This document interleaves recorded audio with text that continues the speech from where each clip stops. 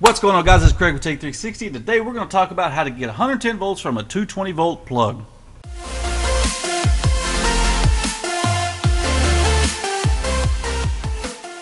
Alright, so about two and a half, maybe three years ago, I made this video and I decided to go ahead and make it again because uh, I've had a lot of questions about it over the, over the years, and I know the first video I made wasn't very descriptive. It was just kind of short and sweet to the point. I've gotten a lot of views. I appreciate all your views on that video, guys. I really do. Uh, I'm, I'm glad you guys are commenting. I'm glad it's helped out a lot of people. Now, this next video is going to be a little more descriptive about certain things that people have asked me about, certain style of plugs. Uh, one in particular because they've had you know this big 220 volt plug, but they have this 220 volt plug that they want to run a, like a window unit with, and how to wire this in, how to do this, blah blah blah. So I'm going to show you guys how to do that as well as a regular house plug. So you're more than welcome to pause any of these clips and keep them and use them for your personal use. I do not recommend you copying them and use them in another video because if I find them, I will flag you. So copy them, keep them for your personal use, keep them for you know your work, whatever it may be. I hope to help you out. So let's get started. All right, so here's your basic standard house plug. Okay, you know, this, you know, a lot of the dryer plugs, stuff like that, they're all different shapes and sizes, uh, and they're all different styles. But let's say you have this dryer plug, okay? Now you look at it right here, it's 110 volts, ground, neutral, and 110 volts. Now neutral is going to be gray just so you can see it in this particular video.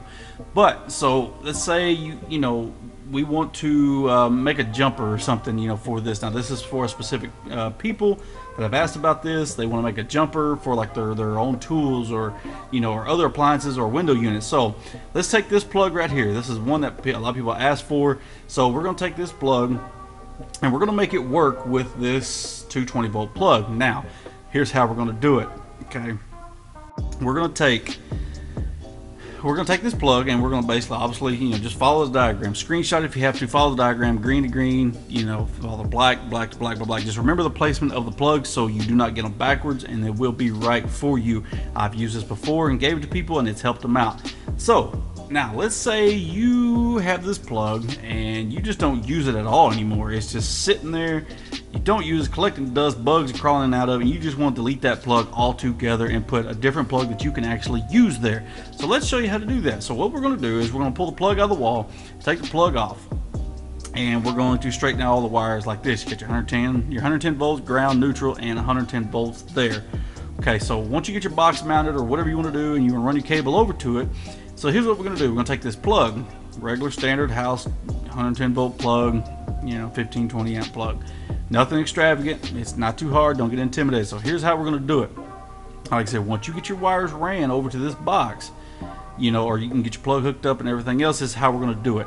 We're going to take your neutral and we're going to run it to the left side of the plug, which is the bigger port. We're going to take that black, which is the smaller port. So it basically makes your 110 volts and kind of like a ground almost and your neutral. So you got your 110 volts, your neutral, and then there's your basically your 110 volt plug. You're good to go. Make sure you hook the ground in. Make sure you also cap off that other wire, that red wire. That's another hot. You do not want that thing live and loose in this box because it may short out cause you a lot of problems and headaches that you do not want and could burn your house down. So, all right guys, so I hope that video helped you out some. I know it was kind of fast. Uh, like I said, I try to make these videos fast for you guys so because I know you guys are probably in a hurry. You're trying to get these things figured out. And you don't want to watch these 15, 20 minute long videos on how to do this, okay? I hope this video helped you out. Use the pictures if you need them.